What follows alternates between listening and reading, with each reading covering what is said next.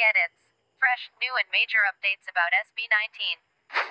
Before anything else, please make sure to subscribe to our YouTube channel and click the bell button for more SB19 updates.